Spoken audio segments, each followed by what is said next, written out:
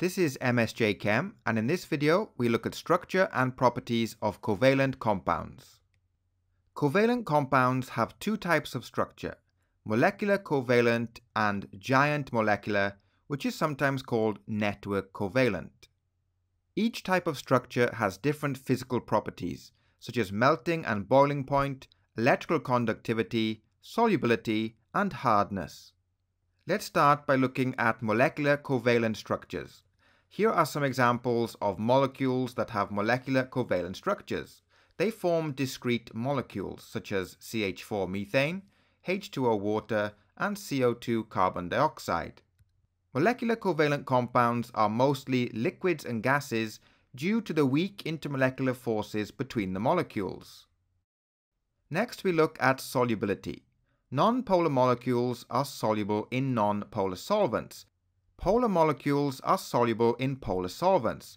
For example, C2H5OH, which is ethanol, is soluble in H2O, which is water. Ethanol has an OH group, which means it can form hydrogen bonds between itself and a water molecule. And this is the reason for ethanol's solubility in water, the fact that it can form hydrogen bonds with water molecules. Now we'll move on to the next type of covalent structure, that's the giant covalent structure. So giant covalent structures do not form discrete molecules.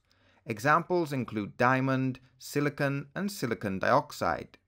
Here we can see the structure of diamond, this is silicon, and this is silicon dioxide.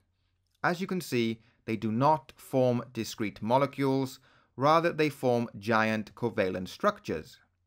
If we look at the structure of silicon dioxide, which is SiO2, you can see that each silicon atom is bonded to four oxygen atoms, and each oxygen atom is bonded to two silicon atoms.